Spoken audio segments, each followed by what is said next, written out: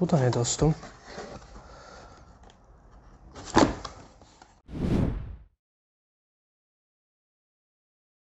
Merhaba arkadaşlar, Basketbol Anatomisine hoş geldiniz. Bugün yine bir kutu açılış videosunda sizlerle birlikteyim. Ee, yine özel bir ayakkabı, kutudan anlayacaksınız. Bir Kayra ayakkabısı. Hangi model olduğuna şimdi bakacağız. Videoya geçmeden önce birkaç şey söylemek istiyorum. Ee, kanala abone olan sayısı gittikçe azalıyor. Ee, bunun sebebi de istatistiklere baktığımda şöyle. İnsanlar videoları izliyor ama abone olmuyorlar ilginç bir şekilde. %99'du bu oran. Şaka yapmıyorum. Ee, o yüzden video izliyorsanız, abone olursanız, e, like atarsanız çok sevinirim. Şimdi videoya geçelim. Ee, anlayacağınız üzere kutudan zaten e, aslında burada Kyrie ayakkabısı olduğunu anlamanız zor buradan. Çünkü burada One World One People yazıyor. Ee, burada bir Kyrie logosu var. Ee, ama ilginç bir şekilde bu logo kesilebilir. Yani bu logoyu kesebilirsiniz diyor. Burada bir makas işareti koymuşlar. Ee, buradaki Nike logosu da aynı şekilde kesilebilir şekilde makas işareti var yanında. Bunun hikayesini şimdi anlatacağım size One World One People'ın. Aynı zamanda gördüğünüz gibi 11 Kyrie'nin e, forma numarası. O zaman ayakkabıyı açalım. Evet kutuyu ilk açtığımızda, ya kutu zaten e, çok basic bir kutu, basit bir kutu gibi duruyor. Fakat içini açtığımızda böyle bir hediyeyle karşılaşıyoruz. E, burada bazı mesajlar verilmiş. Bu, bu ne diye soracak olursanız bu sanırım e, çizim yapmak için kullanabileceğiniz bir araç. Yani bunu koyup üstüne çizim yapabiliyorsunuz. Bir Nike logosu görüyoruz. Kyrie'nin logosu var. Burada basketbol topu var. Yani ona benzetmeye çalışmışlar. Burada One World One People 1-1 11 oluyor. O da e, aslında çok yaratıcı. Kyrie'nin forma numarası. Aynı zamanda mesajı veriyorlar. Yine küçük bir Nike logosu var. Kalp var burada. Ee, burada barış işareti var. Barış sembolü var. Burada göz var. Kyrie'nin her ayakkabısında göz olur mutlaka. Yine bir yere yerleştirmişler. Ve burada Nike yazısını görüyorsunuz. Çok güzel bir hediye. Ben böyle ayakkabılardan ilginç şeyler çıkınca çok seviyorum. Ya sadece kutu ve ayakkabı değil de ekstra bir şeyler çıkınca çok seviyorum. Küçük bir sticker olsa bile. Şimdi ayakkabıya geçelim. Ayakkabı yani yine renkli bir ayakkabı. Beni biliyorsunuz zaten hep renkli ayakkabılar tercih ediyorum. Yine çok renkli bir ayakkabı. E, ayrıca hoş bir mesajı var bu ayakkabının. Onun için diğer tekini de almam gerekecek. Evet şu dildeki yazıyı zaten görebiliyorsunuz. One World One People. Bu tarafta da Kyrie logosu var. Bu One World One People ne demek? Yani dünya bir tane ve tek bir insan tipi var. Uzun, kısa, siyah, beyaz, şişman, zayıf böyle bir ayrım yok. Tek bir insan var ve tek bir dünya var. Çok güzel bir mesaj aslında. Ee, Kyrie 7'de de One World One People diye bir model var ama o Türkiye'ye gelmedi diye biliyorum. Gelirse onu da alacağım.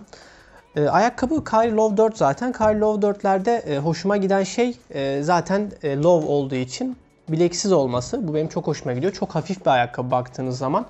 E, tabanına bakıyoruz. Tabanı Kyrie 7'nin aynısı. Yani bu e, materyal olarak diyorum. Kyrie 7'nin aynısı. E, taban tutuşu gayet iyi bir model. Fakat yastıklaması için aynı şeyi söyleyemeyeceğim. E, çünkü bunda e, Zoom Air kullanmamışlar ilginç bir şekilde. Sadece ön tarafta küçük bir bölümde var. e, ayağın ön kısmında. Genelinde Cushion diye bir teknoloji kullanmışlar. Bu teknolojiyi KD 14'te ve Kobe Pro Tro 5'te de kullandılar.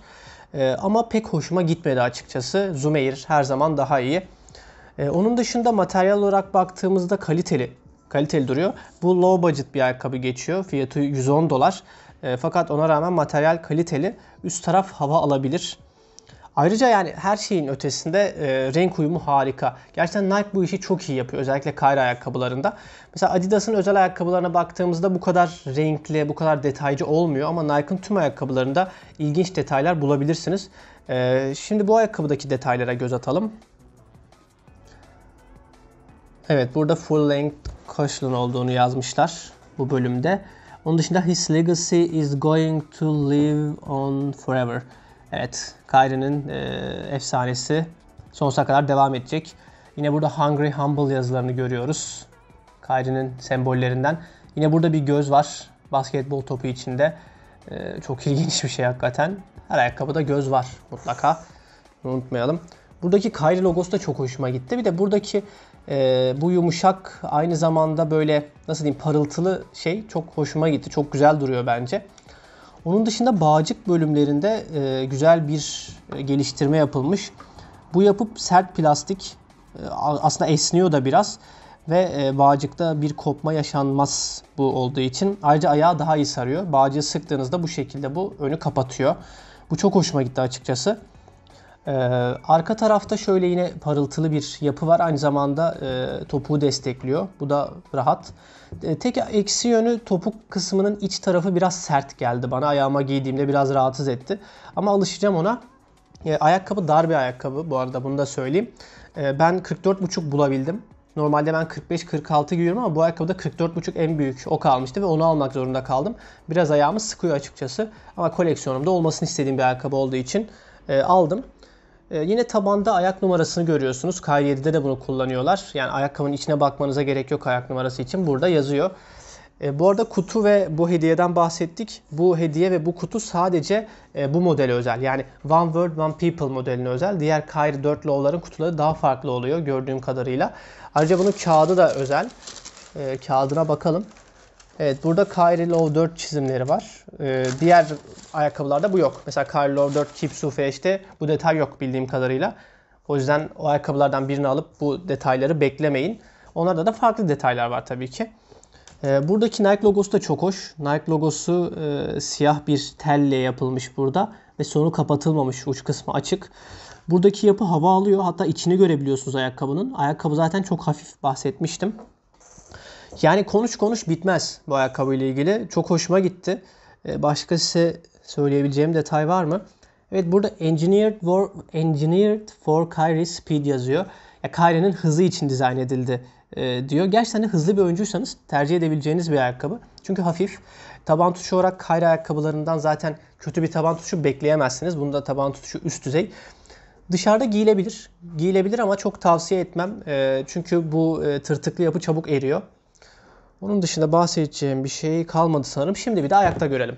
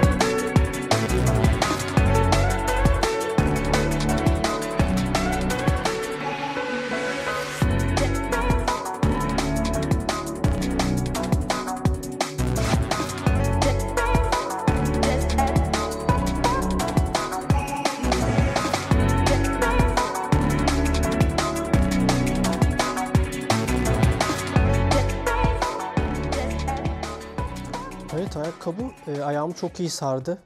Gerçekten çok iyi hissettiriyor. Biraz küçük aldığım için, 44,5 aldığım için biraz sıkıyor ama o da açacaktır diye umuyorum. E, tutuşu falan çok iyi zaten. Yani hiç kaymıyor. Üst tarafta hiç rahatsız hissettirmiyor. Ayağımı vuran bir kısmı yok. Sadece topuk biraz canımı sıkıyor. Da ayakkabı küçük olduğu için bana. Alıyorsanız yarım numara büyük alabilirsiniz. Ama ayak numaranızda da alsanız sorun yaşamazsınız. Yani çok hoşuma gitti ya özellikle renk uyumu falan. So what do you think about this shoe? I really like the color scheme of the shoe. I think it's very colorful and playful. I can see why it is for like younger boys. Yeah, and Nike shoes always like this. Yani ayakkabıda çok güçlü bir mesaj da var zaten. Yani one world, one people. Herkes eşittir.